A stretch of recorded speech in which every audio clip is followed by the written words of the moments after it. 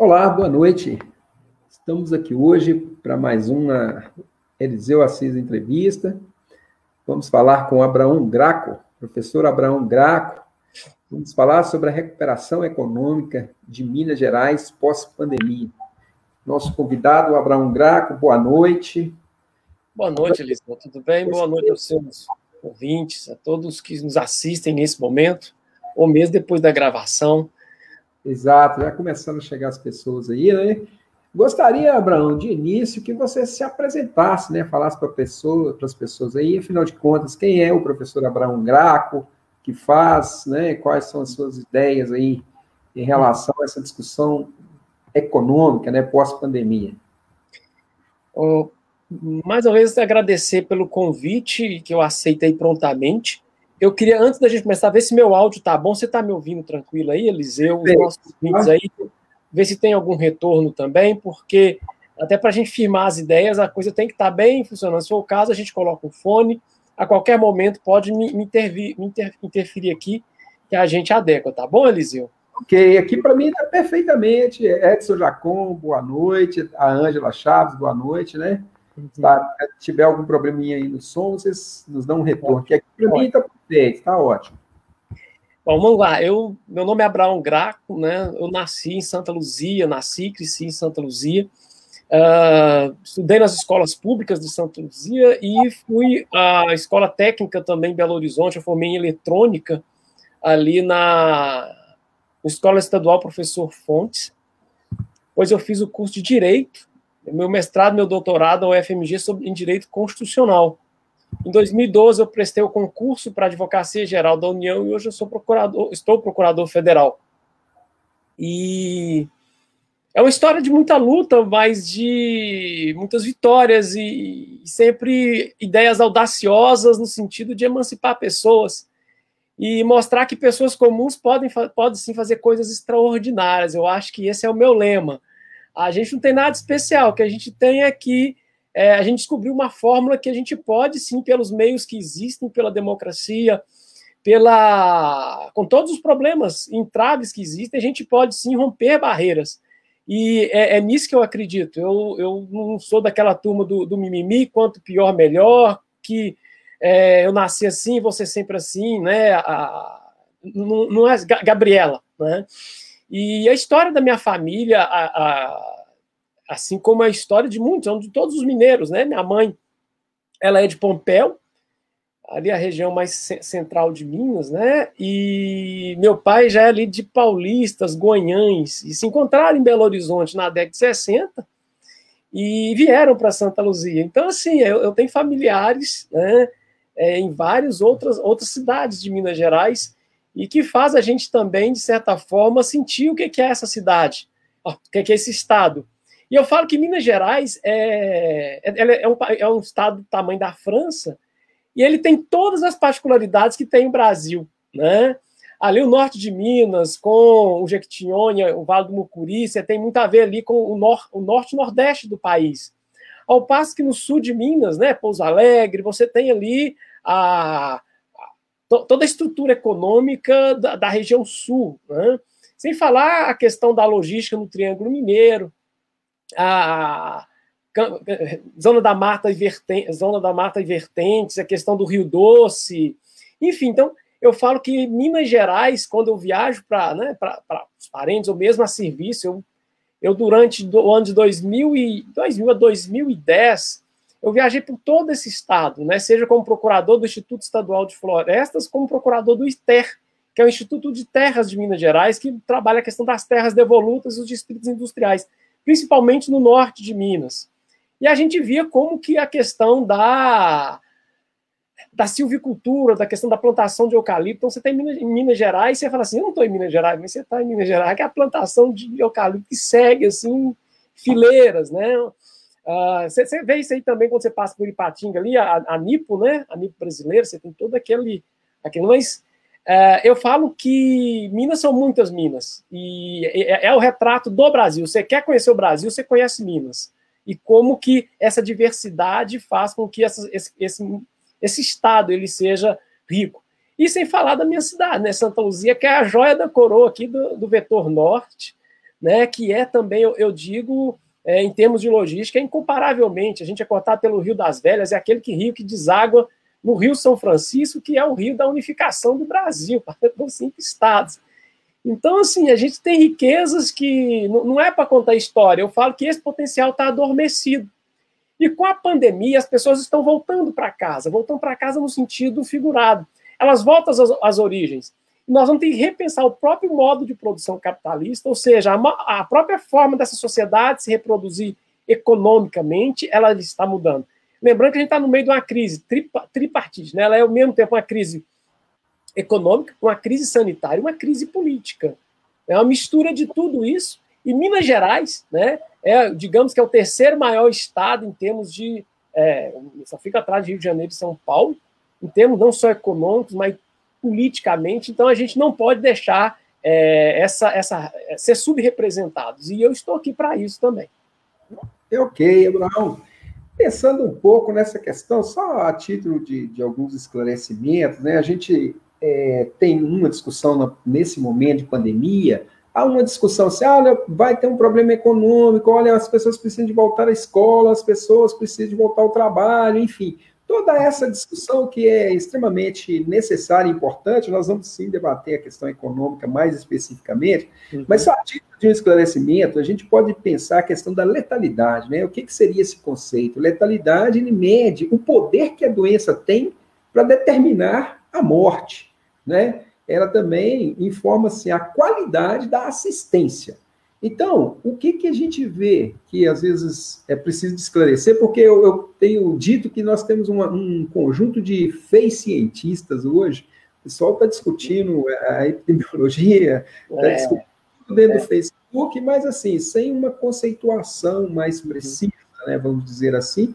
Assim também, como eu acho que é importante saber dessas questões para entrava na discussão econômica. Né? Para você ter uma ideia, a letalidade do coronavírus ela é superior à gripe influenza, ou seja, é uma doença que mata mais que a influenza, e de outras gripes comuns também. Né?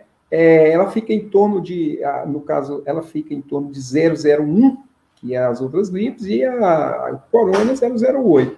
O sarampo, em 2019, para ter ideia, foi 1,42 dos pacientes infectados no mundo que morreram. Ou seja, o coronavírus ele apresenta um índice de letalidade bastante considerado. Então, não é simplesmente vamos abrir, não é? Eu, aí eu acho a questão econômica que passa, né? Não é simplesmente vamos voltar à produção, vamos abrir o comércio, vamos é, voltar para as escolas. Existe aí, né? Algo que torna o coronavírus mais nocivo que, por exemplo, as outras questões, né? Que tem uma alta, uma o que, que o torna mais, mais perigoso? É a sua capacidade de contágio. Ele tem um índice de contágio bem maior.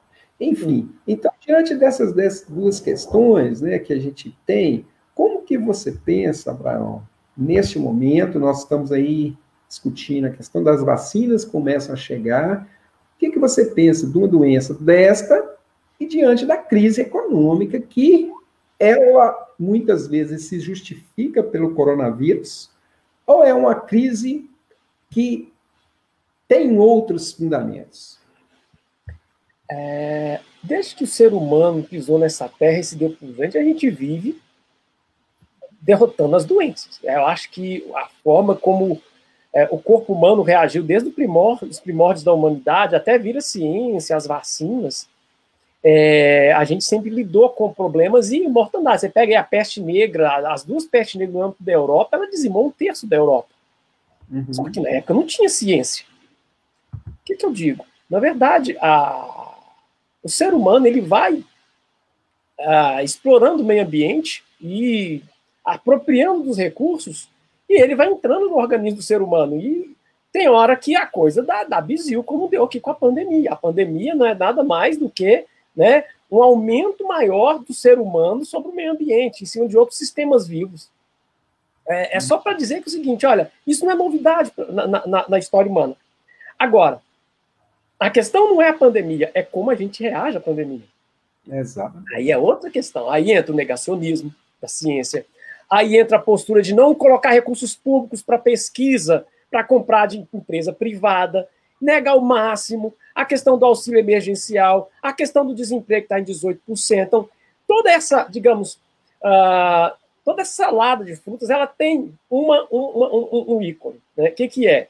É qual a postura que os governantes têm perante a pandemia. Então, o meu grande problema não é a existência da pandemia, é como se reagiu. E se você pegar ao redor do mundo, como a Angela Merkel, né, a, a, como a Europa reagiu, né, como certos países da Europa reagiu, como os Estados Unidos reagiu, como o Canadá reagiu. Ninguém fala como reagiu o Canadá. Né? Como uhum. que o uhum. Chile reagiu, a Argentina reagiu, como reagiu o Brasil.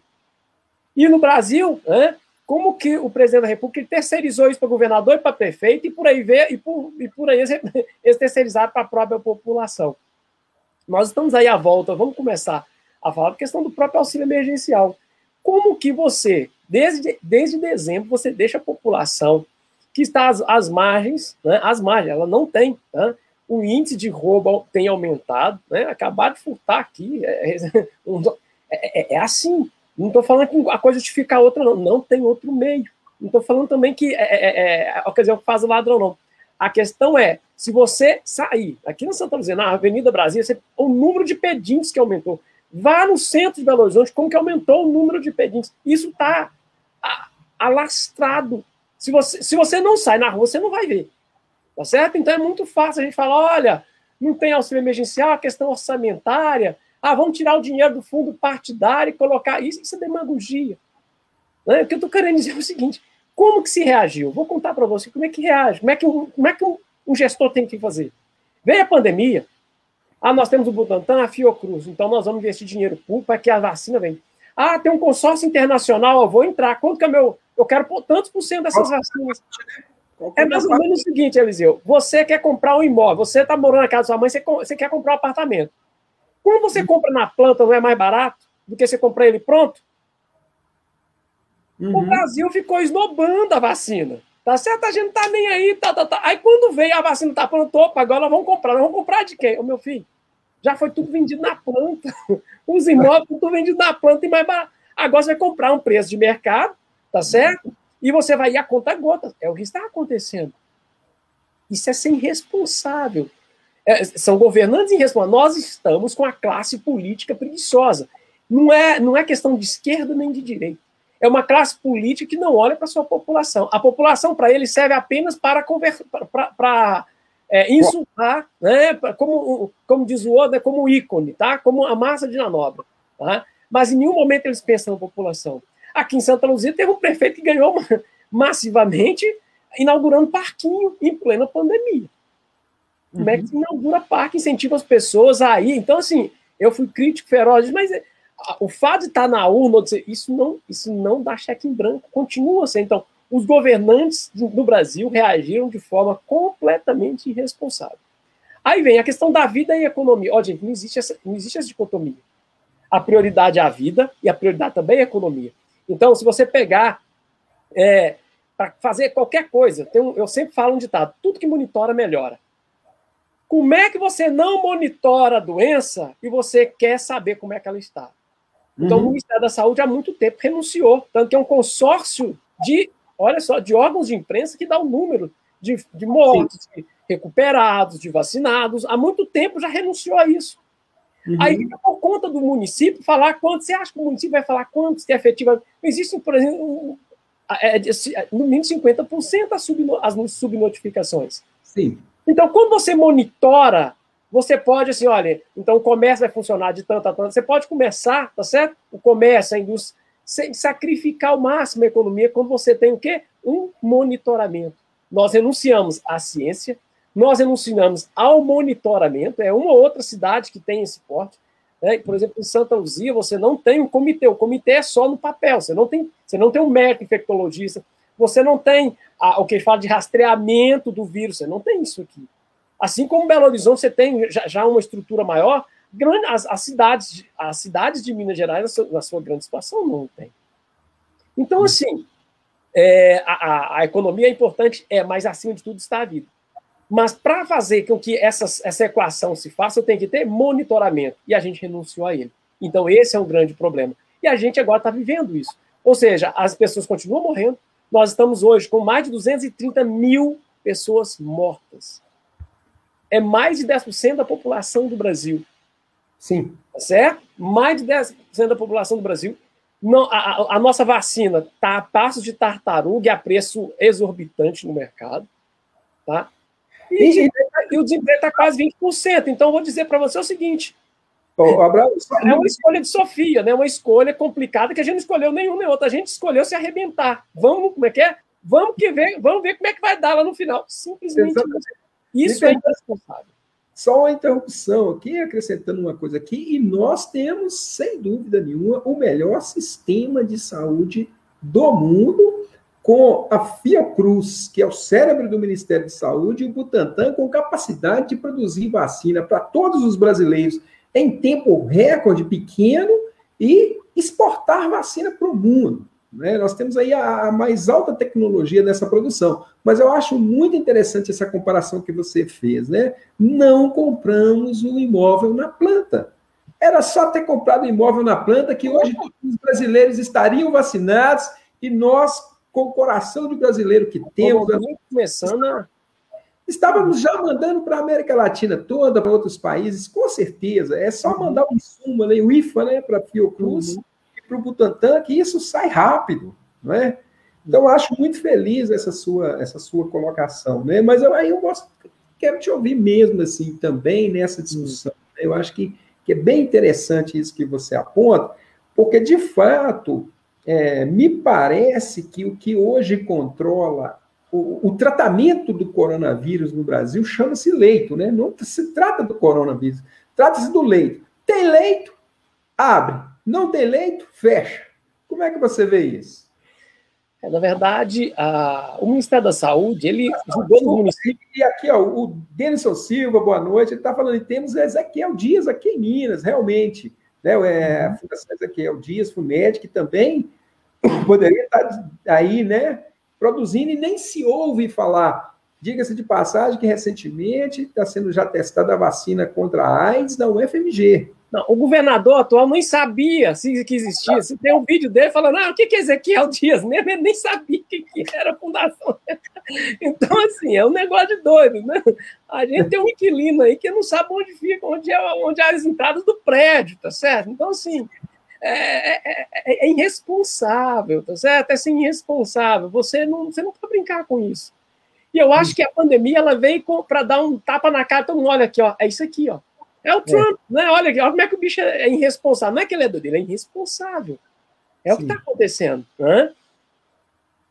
Sim, exatamente, né? Boa noite, o Ayrton Santos. Ele tá falando que sem monitoramento não é possível controle. Né? Eu acho que o Ayrton fala uma coisa bastante interessante, né? que você também pontuou aí para nós. Né? Mas, Abraão, em relação às regiões, você apontou diversas regiões, como é que você vê essas discussões nas diversas regiões do Estado? Uhum. Vamos lá. Cada uma dessas regiões, elas têm uma, digamos, uma vocação econômica, tá? e ao mesmo tempo, como você acabou de falar, o SUS ele tem um tanto de problema, tá? Eu tomei posse como procurador federal lá no Acre. Sabia que tem gente de outros países que, que vem, vem para os postos de saúde nossos para vacinar, para. Então, assim, virou um sistema universal. A gente só teve com a Constituição de 88, todo mundo fala mal do SUS. Agora, imagina sem ele, porque antes do SUS, você tinha o seguinte: você tinha que ter carteira assinada de alguma coisa. Então, por exemplo, você era ferroviário, então você era atendido pelo. É, é, pela, digamos, né? é, pela categoria. O Sim. SUS não, é ser humano, vacina, tá em vacina no posto. Isso é caro. E mais do que caro, a saúde tem problema? Tem, mas a saúde também tem falta de gestão.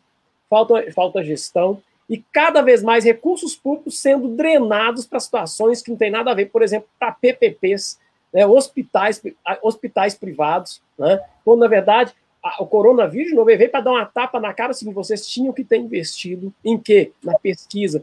Adivinha dizer quem faz pesquisa nesse país? Chuta! A universidade pública. A pública está sucateado. Sim. Ah, só entra filhinho de papai. Mentira. Mentira. Eu fiz mestrado e doutorado, eu sei. Na verdade, a Universidade Federal ela pega os mais qualificados. Então a questão é lá de trás. E aí nós vamos entrar numa outra discussão. A gente pode fazer uma live só para isso, tá certo? que é a questão da educação, volta às aulas. Né? Então, a situação é uma outra. Então, não se investiu em pesquisa. Né? As universidades continuam sucateadas, os reitores eles são indicados a, a, a, digamos, né, a toque do general, do capitão, não existe democracia interna na instituição e por aí vai. Então, assim, existe um sucateamento total tá, do que é público nesse país para se vender. E para o governador não é diferente. Né? O, aqui no meio da pandemia está preocupado é o quê? É em vender as nossas estatais. Né? Ah, são ineficientes. Reforma, reformula, tá certo? A questão da venda, por exemplo, da nossa estatal que cuida do nióbio o nióbio em Araxá na terra dele. Então, assim, é, é coisa que você fala assim, você tem, você tem que ampliar e melhorar. Não é, não, é, não é o momento de fazer isso. Então, continua se preocupado muito mais com a privatização, né, com o marco em se vender para se comprar na, na, esquina a preço de banana. Né, a questão da Vale, né, essa semana assinaram né, um acordo bilionário para fins, e agora vai ter rodoanel, vai ter não sei da Primeiro que isso não paga a vida, as vidas que, que foram lá. E segundo, na verdade, né, isso era para ter vindo há muito tempo. Agora tem que se discutir, será que é Rodoanel mesmo? É importante, eu não posso nem dizer, porque eu sou um dos entusiastas. O braço do Rodoanel passa em Santa Luzia e vai pegar, inclusive, a sua área ali da 381, passando direto pela MG10. Então, Sim. evito você passar para Belo, Belo Horizonte. Tá certo? Mas tem que discutir como é que isso vai ser feita, tem todo um planejamento e tudo. Eu sou entusiasta disso. Né? A gente precisa de infraestrutura, sim, a gente está no século XXI, tá certo? É, mas, de novo, né, a, retomada da economia ela vem com essa questão das obras de infraestrutura, mas antes tem que vir com a vacina. E se a gente não fez o dever de casa, a gente ainda dá tempo de fazer. Né? Essas regiões de Minas Gerais como um todo, né, é, eu acho que, de novo, a, a, a lógica é voltar, voltar a, a, a, dinâmica, ou aderência, ou a vocação de cada uma delas, tá certo? Para que elas realmente voltem a colocar as coisas no trilho. Né? Então, a vocação da região central de Minas, né? Vale de Quitinhão e Mucuri, Vale do Rio Doce, Vale do Aço, né? a, a, questão do Alto Paranaíba, Triângulo. Triângulo, você anda assim, você fala, gente, eu estou em Goiás, né? Estou em Goiás. Triângulo é um negócio de. É como que a economia daquilo ali é punjante, né? E, uhum. e é isso. Né? Se repensar, eu acho que antes de tudo é a vacina, né? não, há, não é, é, a primeira coisa vem do jeito que vier, não dá para reclamar lá mais o leite derramado, né? mas agora tem que falar assim, olha, qual que é a vocação dessa, dessa região? Ah, a Triângulo Mineiro é, é, a logística, então vamos trabalhar a logística 4.0, vamos trabalhar, logística hoje é uma ciência, tá? e como se faz isso? A gente está próximo das regiões mais, é, digamos, produtoras, como, como, é que a gente pode fazer e trabalhar isso para Minas Gerais? Enfim, né? Isso é o que a gente tem pensado, né? a gente tem feito parte de um grupo que está repensando né? a região metropolitana, a região metropolitana, a região central de Minas, né? E todas essas regiões no sentido de como a gente restabelecer a economia, lembrando o seguinte: o PIB de Minas Gerais é 10% do PIB do Brasil. O PIB do Brasil é coisa de 7 bilhões, né? Nós estamos aí na faixa aí dos 600 a 700 bilhões de reais. Desculpa, o, o PIB do Brasil é de 7 trilhões. O PIB do, de Minas Gerais é de 700 bilhões de reais. E se você for olhar, como é que muda aqui? Uh, pega ali uns 30% é, é da indústria, principalmente né, na região metropolitana, indústria. 10% agropecuário, nós temos o terceiro maior rebanho, terceiro maior rebanho bovino do país, né? E 60% de serviço. E adivinha qual que é a área que está mais sobressaindo nessa pandemia? Que mais está empregando? É o setor de serviços. Uhum. O setor de serviços em Minas Gerais já representa 60% do nosso PIB. Lógico que ele foi, teve um né, retumbante, uma, uma caída retumbante, mas ao mesmo tempo para fazer o V. Né? Para ir precisando da vacina, assim, agora nós precisamos de olhar com carinho como é que nós vamos retomar né, a questão da empregabilidade. Ah, eu acho que a questão do auxílio, por exemplo, estados como São Paulo estudou, tra trabalhou essa questão do auxílio emergencial estadual. Em São Paulo você tem até o auxílio emergencial municipal. Então, nesse primeiro momento, gente, a pandemia ainda não acabou. Então, eu sou um defensor árduo, sim, do auxílio emergencial nesse sentido. Só quem convive com as pessoas que não têm o que comer, batendo na sua porta todo dia, sabe da importância. E, de novo, não é ser de esquerda ou de direita, é ser decente. Sim, eu acho que a discussão, é, nesse momento, nessa, essa discussão esquerda-direita, mesmo porque a questão é a vida, né? A vida não tem essa discussão de lado A, B ou C, apesar que a gente sabe que existem determinados posicionamentos políticos que fazem os seus efeitos né, em relação ao, ao modo de se considerar a vida. Abraão, você falou de diversos setores é, de produtivos, econômicos. Como que você faz o diagnóstico do estado de Minas em relação a esses setores e em que eles podem se entrecruzar? Né? Uhum. Como que você vê essa questão? A primeira, a minha grande preocupação, além do setor de serviços, que é 60%, é a questão da desindustrialização. Sim. Com o fenômeno da China, né? As empresas estão fechando. Vocês estão vendo aí em nível nacional, a Ford está indo embora, a Mercedes, a Mercedes, nós temos a Mercedes aqui em Juiz de Fora. Nós temos três empresas automobilísticas aqui, né? Que é a Fiat em Betim, a Iveco em Sete Lagoas e a Mercedes-Benz em Juiz de Fora. Então, essas empresas estão fechando. A questão aqui não é discutir a desoneração fiscal, também é, mas mais do que isso, qual que é a que a gente chama de transferência de tecnologia para o parque industrial brasileiro? Né? Então, hoje, o grande centro da indústria não é mais a Europa e Estados Unidos, tá? é a China. É a China. E, de novo, aí a irresponsabilidade do nosso, né, do governo federal si, a responsabilidade da China por tudo. A questão é se a China é comunista, se ela é direitista. A China é, ela é uma grande produtora hoje. Qualquer coisa que você pega hoje eletrônico é os insumos, não só da Coronavac, né? Os insumos de grande parte das vacinas é chinês. Então, assim, eu tenho que Minas Gerais tinha que estreitar o mais breve possível as suas relações né, com a, a China. Ah, mas esse é um estado com o outro. Não, você tem as províncias chinesas que tem, sim, tem toda uma relação. Você tem estados, você tem cidades irmãs, por exemplo, Santa Luzia, Itabira, pode trabalhar com a cidade irmã Wuhan, né, é, na China, você pode. Então, a gente ainda não, a gente ainda não ligou a nossa chave para a China. Né? Então, a, a, desindustrialização de Minas Gerais não, não adianta mais você pensar naquele paradigma do século XX, da grande indústria com alto. Isso não existe mais. Isso não existe mais. Tá certo? Hoje é mais a nanotecnologia, a biotecnologia. Minas Gerais ela, ela tem grandes laboratórios nisso. A gente tem, digamos, é, é um campo bem avançado de pesquisa nisso. Né? E, e, de novo, o meu medo é a desindustrialização. Né? Vai julgar a gente de novo na Idade Média. É, esse, esse é o meu pro, o grande problema. Então, você, tinha, você tem, nós temos hoje a fatia de 30% da, da indústria uh, representando o PIB. Né? Com essa pandemia vai cair ainda mais. Né? E a forma de retomar não pode ser a mesma, tem que ser diferente, você tem que ter um atrativo, você tem que fazer com que é, a, a, a, pesquisa chinesa venha para cá. Por exemplo, olha isso. Minas Gerais é o segundo maior produtor de minério de ferro. E para onde vai o minério de ferro? Vai para a China. A gente não tem um programa enquanto Estado de Minas, tá certo? De fazer com que, digamos, é, os softs, né, a, o soft law, que eles chamam de é, a política suave, né? A gente leva, olha, a gente leva o minério, a, a, tonelada a 100 dólares e compra o trilho de ferro a 450. Não estou nem falando do valor agregado. A gente não aproveita nem só a questão do valor agregado, a gente não aproveita a questão cultural. Você não aproveita as, digamos, as conectividades, os convênios, né? O aprendizado da cultura. Tá certo? Então, assim, a gente está perdendo tempo. O meu, o meu grande problema é esse quando você acha que perde tempo. E vamos guardar uma coisa: a saúde, dinheiro você pode recuperar, mas tempo a gente nunca recupera, Eliseu. Tempo Sim. perdido já era. Foi. Mesmo porque a competitividade do mercado, se o outro já está lá na frente, já era. E você falou uma coisa interessante, é, Abraão, que aqui na minha região, né, uma região onde tem uma indústria, a ArcelorMittal, tem a produção do minério, a Itabira, aqui em Bela Vista de Minas, produz minério. Temos uma empresa aqui perto, Dom Silvério, chamada São Romão, que me chamou a atenção uma vez é que eu fui comprar um desses equipamentos de jardim, essas coisas de jardim, que é tridentezinho com uma enxadazinha assim de, de jardim. Uhum. E aí eu fui ver, poxa, isso aqui deve ter sido fabricado no São Romão. Quando eu olho, China.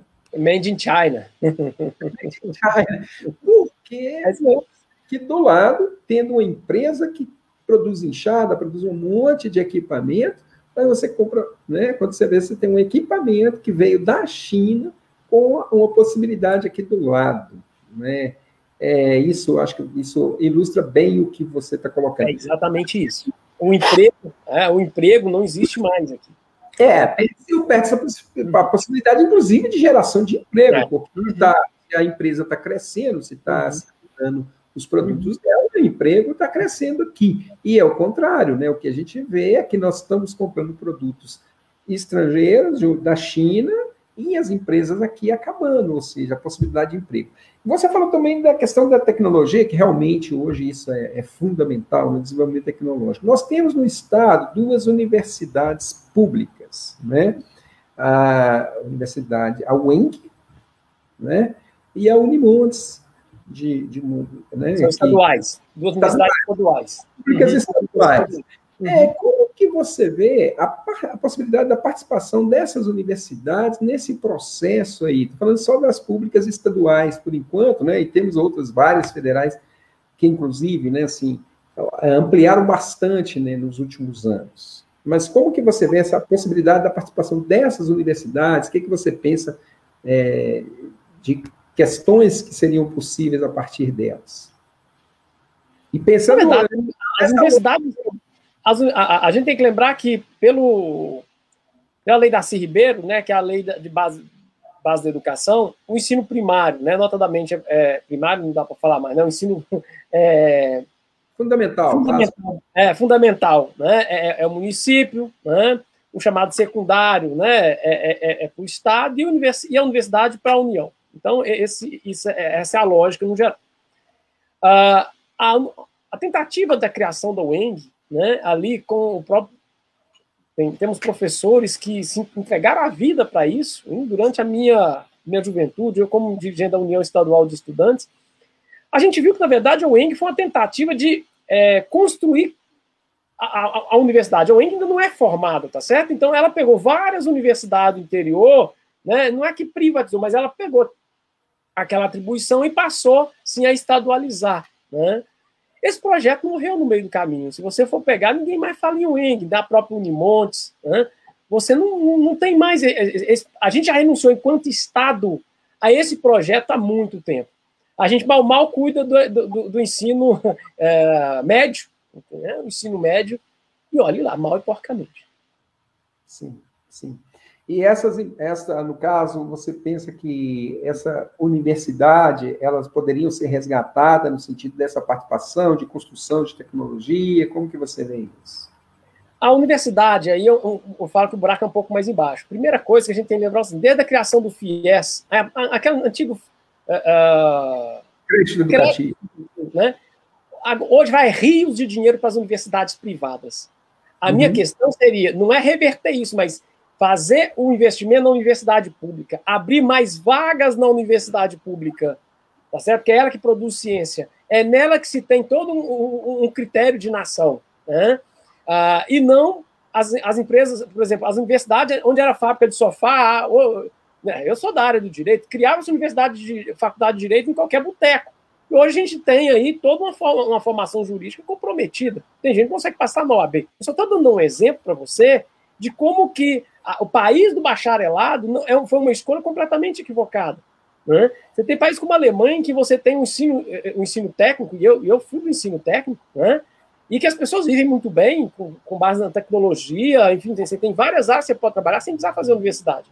Então, assim, a universidade, para mim, tá? eu penso ela como um instrumento, tá?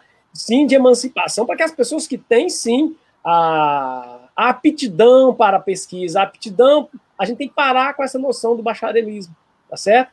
E, e que é uma falsa. Todo mundo está cheio de diploma tá, de, de, de ensino, como é que é, de universitário e está desempregado. Então você tem advogado trocador. Então, assim, você cria um negócio e fala, mas como é que entra na cabeça um negócio desse? É isso. As escolhas equivocadas que nós fizemos. Então, o resgate da Universidade do Estado de Minas Gerais, para mim, ela passa por remodelar qual tipo de universidade que a gente quer. A gente quer uma universidade que não é só passe o conhecimento, mas que ela seja assim, centro de pesquisa, é o que a gente fala, né? Ensino, pesquisa e extensão. Ela, ela, ela seja um, no seu raio de influência ali, ela, ela, ela tem assim todo um, um contexto para emancipar aquelas pessoas. Então, eu penso universidade assim. Então, universidade para mim não é mais um boteco, tá certo? Você coloca na prateleira os meninos lá, está vendido, e... não, não é assim, né? Sim. Denis traz uma questão interessante aqui, Abraão. Boa noite, Denso. Olha, empresas que deixaram e estão deixando o Brasil. Zódio, Reuters, Lime, Wentz, Fleming, é, Caves, né? Case e Ford. Né? Estas são empresas que estão deixando, né, que ele diz que estão deixando o Brasil. Aí vou voltar lá naquela primeira questão, né? Eles estão deixando o Brasil por causa da pandemia ou por outros motivos?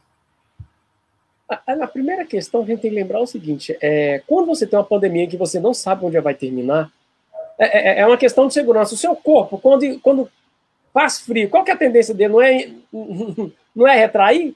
Aí, né? coisa todas essas empresas estão revendo, porque na, na, na, matriz delas, elas já tiveram déficits, elas tiveram, então, é fechar as filiais como um todo.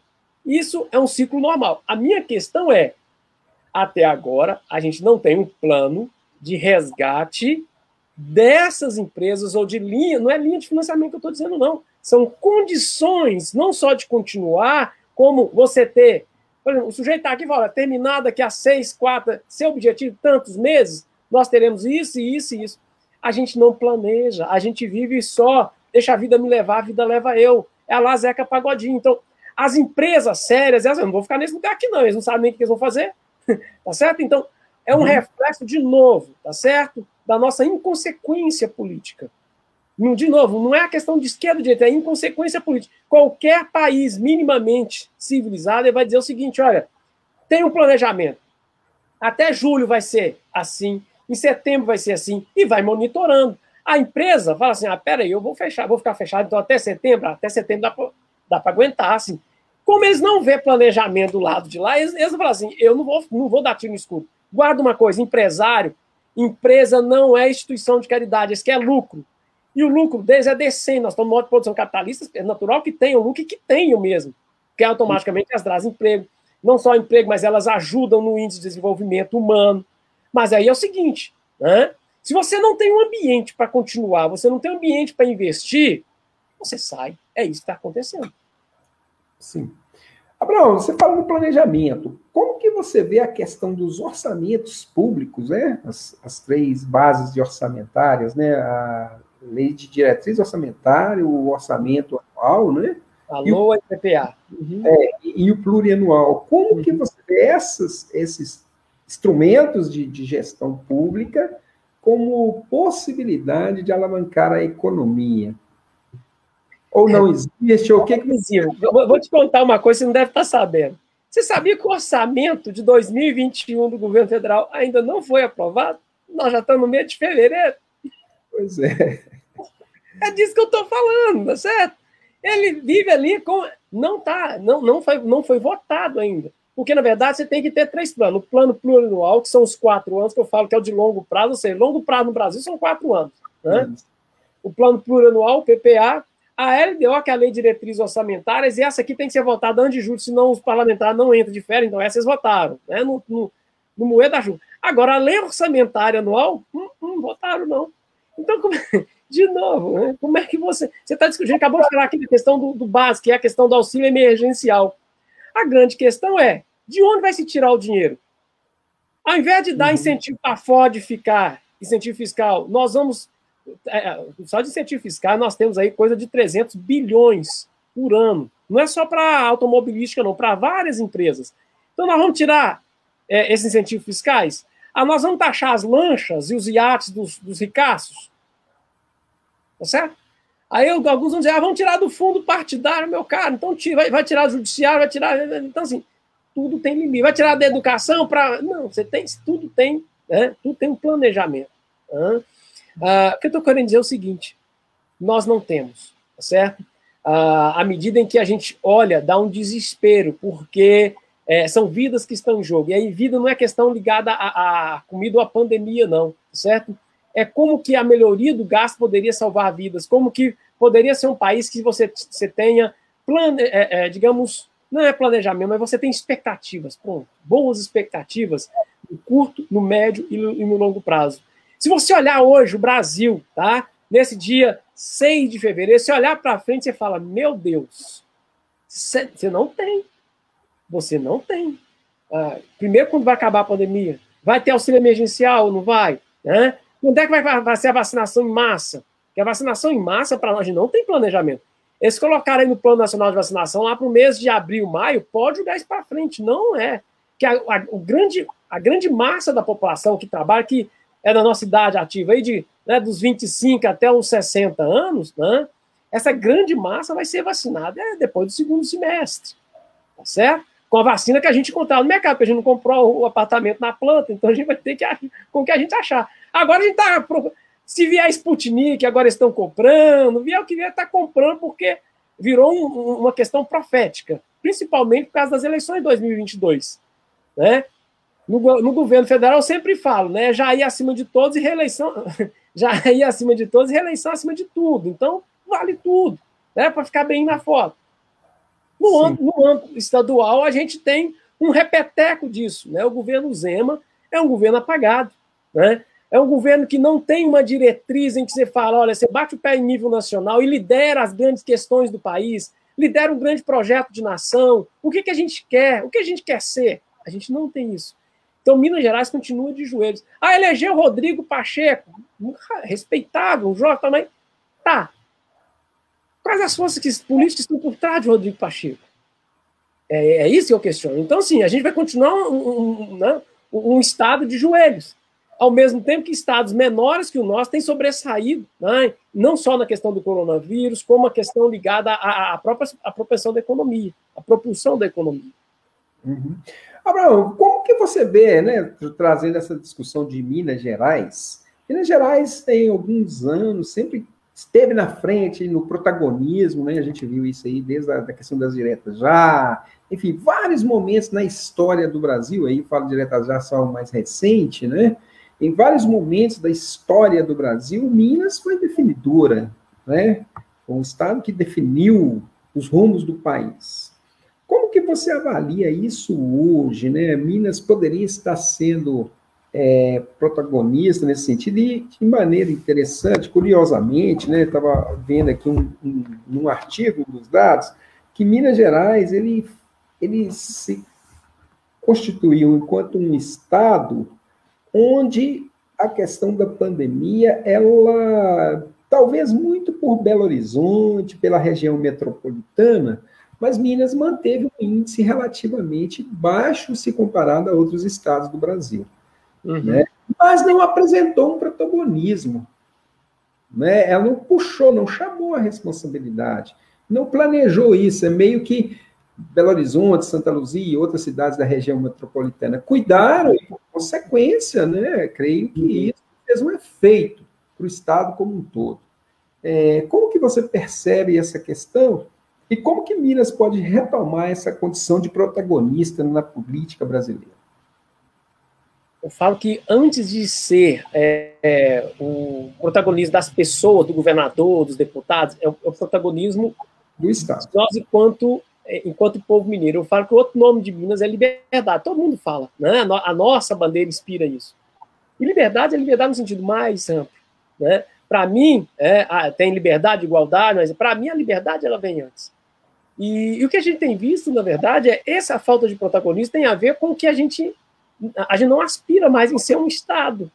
A gente virou, na verdade, um repeteco de um tanto de coisa tá certo? E a, gente, a, a, identidade mineira, né? Ah, o mineiro é isso, o mineiro é aquilo. Não, a identidade mineira é o seguinte, né?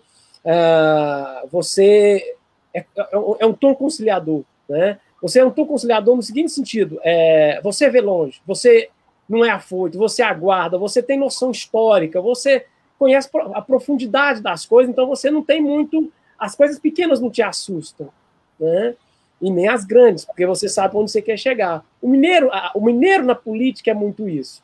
Eu falo que quando eu estava na juventude, né, a, a, bancada de Minas, e, e falava, eu sempre deixava a gente, olha, vamos ouvir os mineiros. Aí você tinha os gaúchos, paulistas, mas vamos ouvir os mineiros. E, e a gente fica, né, tiravam chacota da gente, a gente tirava dele, mas o mais gostoso era isso, de como que o reconhecimento de Minas no Senado Nacional, é, ele é acima do que a gente ainda é hoje. tá certo? Então, assim, você vê os paulistas, a pujança econômica, ela não se transforma em política. Né? Eles ainda falam assim: ah, o paulista não é que ele não sabe fazer política, o paulista, como um todo, ele, ele, ele tem toda essa. essa uh, digamos, a, a pujança econômica está também transformada na pujança política. Só que em Minas Gerais, eu falo, você está nas terras de Minas, nós ainda somos o maior produtor de leite, viu? Eu não falei isso não, não, somos ainda o maior produtor de leite do Brasil, na política do café com leite, E, e, legal que até naquela época do café com leite, uh, eles, eles falam errado, erroneamente que é, alternava-se políticos de, de, Minas Gerais com São Paulo. Não. Na verdade, a, a, hegemonia era de São Paulo e Minas Gerais e eles indicavam quem eles quisessem. Por exemplo, a gente já indicou paraibano, tá certo? A gente não, não era só paulista e mineiro. Mas é só para dizer o seguinte: é, ainda está muito aquém. Tá certo? A gente continua indo a reboque. Eu falo, assim como o Brasil vai a reboque de nações que são menores, a gente está a reboque de Arábia Saudita, em várias pautas internacionais. Minas Gerais está a reboque de estados muito menores, tá certo? Do que o como Santa Catarina aqui, né? Respeito muitos catarinos, mas Minas é Minas. Minas tem todo um. Você, como diz, nós somos o retrato do Brasil e a gente não consegue transformar isso em pujança política, tá certo? A gente está sempre sendo subserviente e eu falo, não dá para ser subserviente quando a necessidade é sim de não é de confronto, de compatibilizar, dizer assim, olha, não é assim. E vamos mostrar por que não é assim. Tá certo? Então, assim, falta essa voz de Minas no sentido de dizer o seguinte: olha, nós podemos fazer diferente, nós podemos melhorar. Os recursos públicos podem ir sim para a população, né? sem essa demagogia, sem esse populismo idiota que faz as pessoas se odiarem. Né? Hoje, discutir política é a política do ódio. E quando, na verdade, a política não é, é, é, é na verdade, a política é a política do, do, amor ao próximo. Eu só faço política porque eu amo o próximo. Até porque não dá para fazer política sozinho. Se você quiser montar um negócio, Eliseu, você monta sozinho. Mas Sim. política você não faz sozinho. É bem interessante isso. Olha, o, o Ayrton Santos ele traz uma questão bacana aqui, é, Abraão sobre as indústrias, né? As indústrias automobilísticas e a construção civil, quando estimuladas, trazem impacto positivo rapidamente, se comparadas a outras áreas econômicas. Na opinião do entrevistado, o Estado de Minas Gerais deveria explorar mais estas áreas, como a implantação de um programa de projeto de renovação de frotas de veículos, uma vez que investir na transformação de recursos minerais requer tempo e muito investimento. Não é? Eu acho que essa pergunta do Herta é bem interessante, que vamos dizer assim, no sentido da recuperação da economia, quais seriam as prioridades? Primeiro, a gente um entrave, é, digamos, de competência federativa, porque a renovação de frota ela é uma competência nacional. A gente não pode, enquanto Estado, falar assim, olha, vamos fazer um plano. Não pode. O que a gente tem é, de novo, é, é Minas ser essa liderança política, ser essa né, essa, essa ponta de lança para que se faça no âmbito uh, automobilístico. Agora, o programa em si eu acho complicado, porque é o seguinte: os carros que se produzem aqui, em termos de sustentabilidade, são completamente diferentes. Por exemplo, como é que uma Chevrolet, uma Fiat produz um carro aqui, tá certo? com motor a combustão do jeito que ele é, como é há 10, 15, 20, 30 anos atrás, sendo que essa mesma empresa lá na Europa, nos Estados Unidos, já fazem carros sustentáveis já fazem carro com plataforma em que você pode se poluir menos o meio ambiente. Então, assim, essa, essa pergunta dele é super importante. Mas tem que sim um incentivo, mas sobre outras, sobre outro modelo, e não esse modelo do século, do século passado. Então a gente tem que discutir a questão da energia limpa. Energia limpa é mercado, é grana, é economia, ah, vai demorar muito já de implementação. Se olhar na sua esquina, Berto, não tem alguém aí oferecendo aí um kit para é, solar é, kit para energia solar. Tá aí o cara te vendendo a preço de banana. E você pode ver que essa placa é chinesa. Então é o seguinte: essa pandemia vai servir para que a gente repense, inclusive, o nosso modelo de produção e de consumo. Tá? Então, assim, essa indústria automobilística tem que ser repensada. A construção civil, você tocou num ponto. A construção civil, eu falo que ela é o termômetro da empregabilidade. Né? Ah, ela é um, ela é um termômetro muito importante no cenário econômico. Então, se você vê que a, a, o número de carteira assinada no ano da construção civil aumentou, você vê que vai, é, ela movimenta toda uma cadeia, assim como a automobilística. Mas aqui a gente está falando de emprego ligado a não a, a, mais, digamos, especializado, né? Você tem a, a, nossa a nossa construção civil não é ainda nos moldes americanos, né? Que você tem aquelas placas que as coisas só encaixa. A nossa ainda é alvenaria toda trabalhada, a questão do, do número de pedreiros, de servente de pedreiro. Por mais que você tenha hoje a implantação é, da tecnologia, ainda, ainda tem uma demanda muito grande por mão de obra. Eu tenho para mim que essa seria a, uma das, das, das, questões, que é a questão da retomada da construção civil. Até porque ainda tem muito a se fazer no âmbito da construção civil em Minas Gerais. Sim. E há uma demanda grande, né? Por moradia, por uhum. outras questões sociais aí que, que ocorre essa demanda. Mas aproveitando ainda um pouco dessa, dessa questão né, que o Ayrton nos traz, é, Abraão, quais são os pontos assim que você pensa que seria para serem tocados para que a gente, vamos dizer assim, de onde começar essa recuperação econômica do Estado uhum. pós-pandemia? Por uhum. onde começar? Primeiro, teria que criar assim, um gabinete, um, é, um gabinete de, é, de monitoramento do coronavírus, tá certo? E em paralelo com um gabinete, tá, em que se trabalhasse o programa no curto, no médio e no longo prazo. E sempre na bimestralidade, tá certo? E, e no, o que, que é isso? Os dois primeiros meses, como é que vai ser nos dois primeiros meses? Até o mês 2, mês 4, mês 6 e por aí vai. Tá certo? E aí você entrecruzar, entrecruzar os dados e, ao mesmo tempo, chegar né, nas pessoas que produzem, tá certo? No empreendedor e falar: como é que você está aqui? Do que, que você está precisando? Não é de grana, não. Não é só grana, não. O governo tem um tanto de coisa que você pode dar um ambiente em que as pessoas possam prosperar. Né? E a grande sacada né, é trabalhar o micro e o, me, o, o, o, o microempreendedor. Você tem uma ideia? Com essa pandemia, o número de criação de empresas aumentou. Então, o MEI, por exemplo, o MEI estava no auxílio emergencial. É, o cara só cria MEI se ele tem realmente alguma, alguma ligação com o empreendedor. Então, assim, a primeira coisa que eu pegaria é, não é a grande empresa. A grande empresa já está resolvido, tá certo? Ou ela vai embora, ou ela, tem, ela já tem os planos de contingência dela. É pegar o pequeno, médio empreendedor e trazer um BDMG e trabalhar. Então, monitora a Covid de um lado e, ao mesmo tempo, vê um BDMG e começa a fazer o seguinte: olha, uh, você tem uh, distritos industriais em quais cidades? Uh, vamos remodelar ele para a economia 4.0. Vamos trazer a questão dos chineses, né? Vamos para o chinês, o europeu que está aqui também, né? E vamos Só trabalhar. Aí, é, o que que. Né, Transferência de tecnologia. Ah. Essa ideia de de 4.0, né? O que, que ah. seria? Você traduzir para as pessoas aqui. Ah, tá. Ah, o, o, o, presidente do Fórum Econômico Mundial, que é o Klaus Schwab, ele criou um conceito da chamada Quarta Revolução Industrial. Ele fala que nós já tivemos a primeira Revolução Industrial, lá da, né, da, da máquina combustão, a segunda Revolução Industrial, a terceira, que é a questão dos computadores. Ele vai dizer que a quarta é a chamada Internet das Coisas, Hoje, tudo se faz na internet. Então, a ideia de se criar, por exemplo, um veículo autônomo, que é o grande pulo do, da Tesla com o Elon Musk, né? a questão da Amazon, então, toda a questão do homem no espaço. Agora, o que é o nosso dia a dia aqui? A questão da robotização, tá certo? Então, hoje, tudo se faz pela internet. Então, a quarta revolução industrial é a internet das coisas. Isso veio para ficar, principalmente com a pandemia. A gente está falando aqui né, com um programa né, que é o StreamYard, que é um. Ele, ele vem de, de, dessa lógica, tá certo? Hoje, o home office ele, é, ainda, ele ainda é regra, né, em, grande, em grande parte do, do. Hoje vai se repensar. A gente está falando em construção civil, para você ter uma ideia, Eliseu. Os grandes arranha-céus do Brasil estão em risco, por quê? Porque descobriu o tal do home office. Então, as grandes Sim. empresas hoje, elas não têm mais, não é mais se a, se a, indústria não é mais aquele templo sagrado, a empresa também, aquelas sedes enormes, hoje elas não, não têm mais. Com a pandemia, as pessoas que estão do home office está tá se remodelando a própria noção de indústria hoje. Sim. Uh, o que estou querendo te dizer é o seguinte: Trabalho, a forma de trabalhar, o local, né?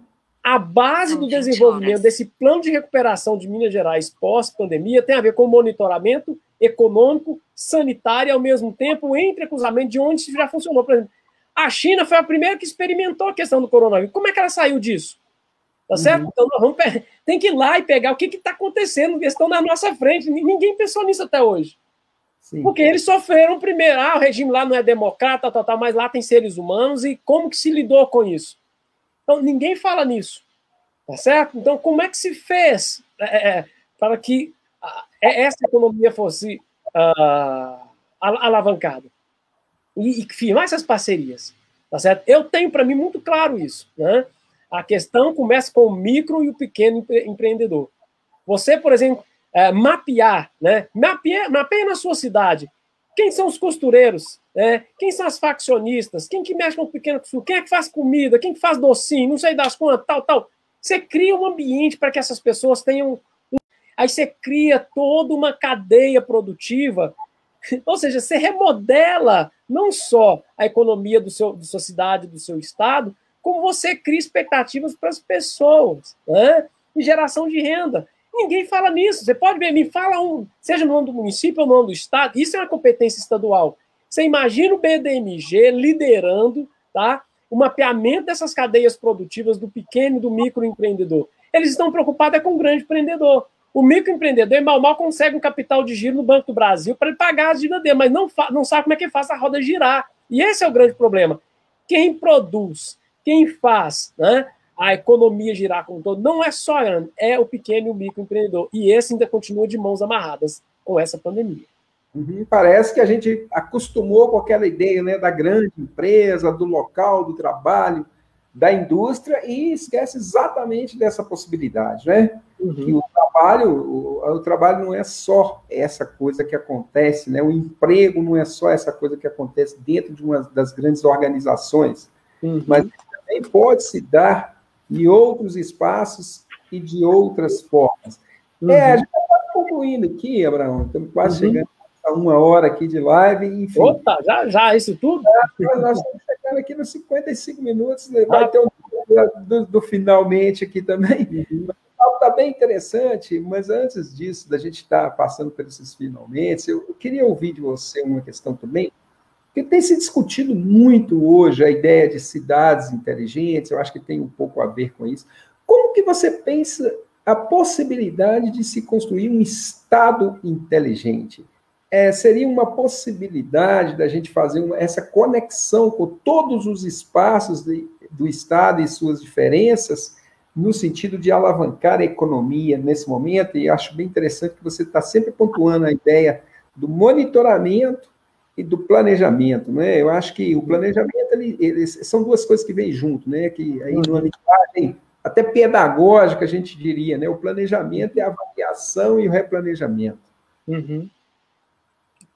Ah, uma questão que a gente tem que, que colocar sobre essa, esse episódio do planejamento é que é o seguinte: nós vamos ter que consertar o carro com ele andando. Não dá para parar e planejar, não. A gente já está no meio do olho do furacão.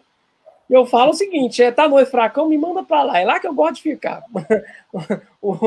a zona de conforto nunca foi o meu, o meu, o meu lugar que eu gosto de ficar, não. Eu gosto sim do, do olho do furacão. Por quê?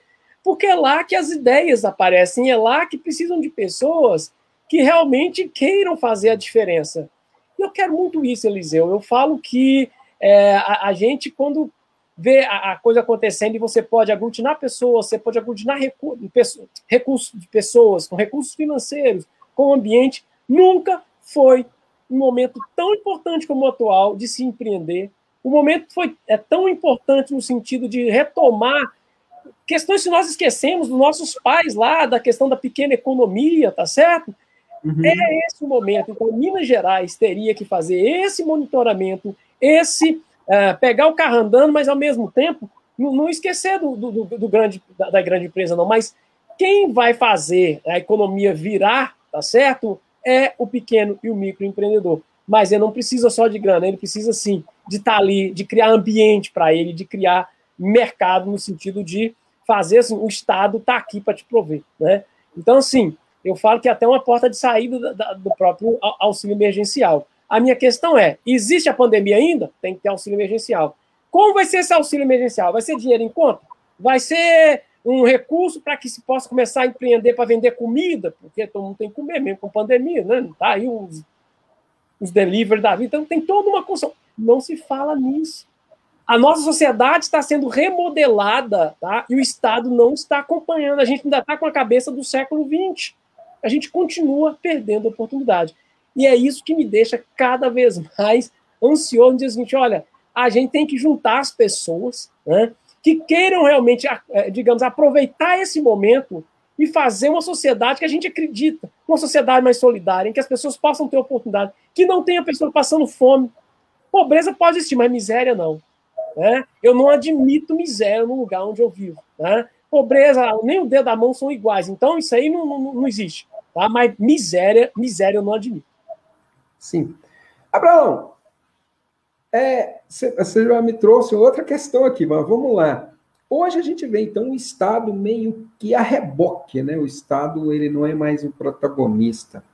Você acredita que é possível, num Estado como o de Minas Gerais, é, algum grupo político é, se colocar aí como liderança, vamos dizer assim, usando aí um termo talvez né, antigo, mas liderança no sentido de, de protagonizar, de se colocar protagonista nesse momento, né? Há uma carência disso no Estado que a gente vê, né, apesar que você a gente viu lá a questão do, do, da eleição do Senado, e, enfim, mas a gente não vê um protagonismo nem do Estado, não vê um protagonismo nos partidos políticos, é, parece que a, a, questão ficou mais horizontalizada. O que, que você pensa do ponto de vista dessa discussão, desse debate político que deve acontecer? Que protagonismo é necessário para que Minas volte a estar no debate nacional? Minas Gerais parou de sonhar, né, Eliseu? Sonhar no sentido de ter metas e objetivos. A gente de novo virou Zeca Pagodinho, vai, deixa a vida me levar. Vida... Minas Gerais não é isso. Minas Gerais é um estado que sonha sim, sonha grande. E a gente deixou. Então, o problema não é a falha da liderança, é de um momento que não é só de Minas Gerais, também do Brasil. A gente parou de sonhar. sonhar não no sentido utópico, não. A gente. Ninguém mais fala, tá certo? Em que você está criando um filho para a sociedade, mas. Ah, vou voltar para minha família. Cara, família é importante, é assim. E é, é, mas espera aí. E qual mundo você está preparando para sua família? Você enfiar dentro, cuidar, é, é, gorando o ovo dentro de casa, ao invés de você sair lá fora e dizer como é que pode remodelar uma sociedade. Ninguém, os sonhos acabaram, tá certo? Então as pessoas preferem se omitir, vai lá mal mal e faz um voto. Então, assim, o que a gente precisa é do, do, do novo modelo de pensamento, no sentido seguinte, olha, é, além de esquerda e de direita, existem seres humanos, existem necessidades de ser acolhidos, existem propensões e oportunidades. O Brasil é um país de grandes oportunidades, Minas Gerais não é diferente. Se você for nos países desenvolvidos, está praticamente tudo pronto. Aqui está tudo por fazer. Então, de novo, nós temos oportunidades, e a oportunidade ela passa pela política. Só que a política é coisa de ladrão, política é coisa de não sei das quantas, virou, virou religião, Eliseu. Sim. Hoje, os líderes políticos viraram deuses. Você não pode falar mal dele, virou religião, é Maomé, é não sei quem lá e fulano de tal. Quando, na verdade, são seres humanos. Eles erram, assim como o getulismo foi um dia, e, e ele teve os problemas dele, tá certo? Ah, erra. Erra. Uhum. Então, Minas Gerais, é, ela, ela, ela, ainda está fazendo parte dessa geleia geral. Enquanto não surgir né, ah, um, um, lideranças que pensam né, nesse sentido de que desse protagonismo, mas dentro de uma nova ordem, de uma nova política, de uma nova, digamos, uma nova geração né, de políticos preocupados, sim, em buscar essas oportunidades para todos, a gente vai continuar repetindo aí mais do mesmo. Ah, além disso, né, entra o governador novo, mas as práticas são continuam ruins, tá certo? Por isso, na verdade, é melhor ficar continuar fazendo dancinha no TikTok. é, exatamente, Abraão. É uma discussão que hoje, até há, há pouco, poucas horas, estava conversando com um amigo aqui, o Glademan, e estávamos exatamente discutindo isso. É, ele falando assim que mudamos na Câmara aqui de João Levade, mudamos 10 pessoas. E eu disse para ele, olha, nós precisamos de mudar, então, no mínimo 10 práticas, né? São 15 vereadores, ele afirmando que mudaram 10. Se mudaram 10 pessoas, mas as práticas continuam as mesmas, acho que nós não mudamos quase nada, né? Bom, Abraão, antes de te passar a palavra para você fazer as suas considerações finais, quero agradecer aqui o Edson Jacon, que esteve aqui conosco, Ângela Chaves, o Gustavo Mender, que esteve aqui, Denison Silva, o Ayrton Santos, que, que comentaram, né? Outras pessoas também estiveram aqui, enfim, passaram por aqui, que tinham bem mais pessoas aqui nos assistindo. E quero te agradecer e parabenizar a você, que eu acho que a forma como você coloca né, essa construção da esperança e a política como a sa saída. Né? Recentemente estava lendo aqui um, um texto de um africano, né, o, o Mbebe, que ele vai trazer a discussão que, no momento atual, a discussão do poder está muito mais próximo da necropolítica do que da política. Né? Uhum. Ou seja, a função do Estado hoje é simplesmente definir quem vai morrer quem pode viver e quem vai morrer, né? o Estado se tornou isso, e nesse momento de pandemia isso se torna muito claro, uhum. né? Isso se torna muito claro em que sentido? Quando você tem uma pandemia em que você simplesmente terceiriza aí, como você diz, essa questão do monitoramento para um conjunto da empresa, de, de, da imprensa, e deixa que isso ocorra, e o próprio, é porque o próprio Estado não se qualifica enquanto produtor de informação, e a gente sabe que o SUS é robusto nisso, tem sistemas de informação sobre mortalidade, sobre as condições epidemiológicas, né? É um sistema fantástico, né? O sistema de o SIS, né? O CIASUS, o sistema de informação do SUS é um sistema fantástico, você tem todos os dados lá, nós temos IBGE, temos várias outras possibilidades de fontes e simplesmente o Estado desistiu dessa possibilidade, o Estado brasileiro, o Estado de Minas, enfim. Ao mesmo tempo também, né, que o que a gente vê, né, desistiu desse protagonismo, né, o Estado não tem mais, parece que não tem mais uma função de lidar com a vida. Então é mesmo saber quem pode morrer, quem vai deixar morrer e quem né, pode viver. Parece que virou isso mesmo. Mas, por um outro lado, nós temos o sonho, temos a política, temos as possibilidades, né? Acho que isso é, é bastante produtivo, isso que talvez seja essa esperança, e que eu vejo você apontando isso com muita clareza, né? É, trazendo para a gente esse esclarecimento, né? Essa questão, né? Enfim. E aí fica, né, Abraão, esse, esse agradecimento e fica para você falar para a gente aí, afinal de contas, né? O que, que é essa recuperação econômica do Estado pós-pandemia? Né?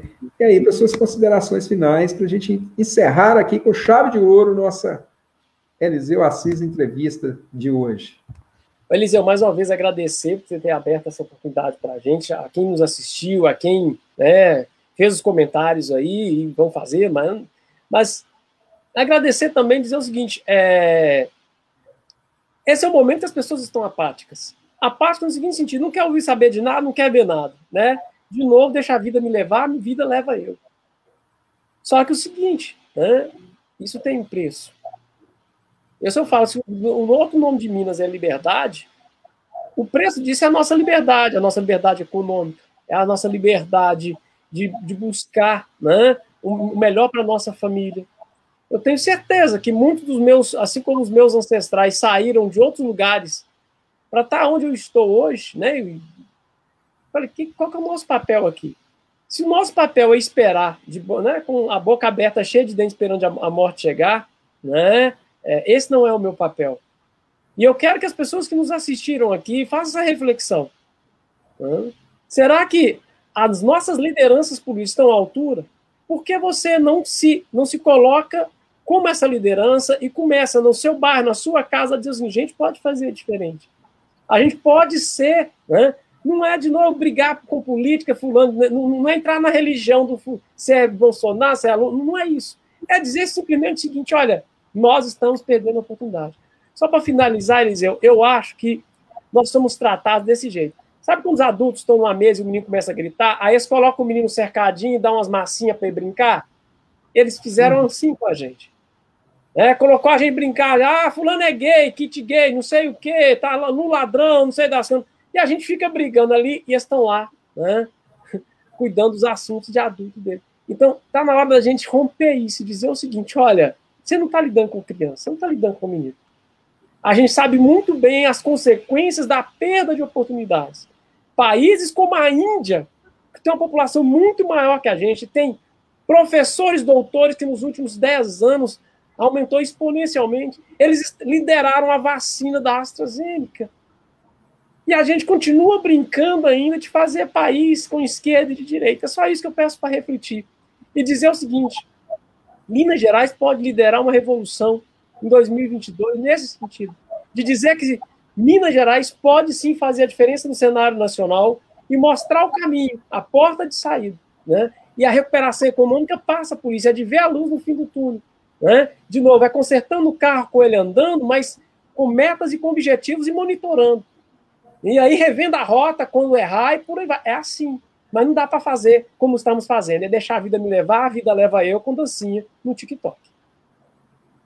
É isso aí, Abraão.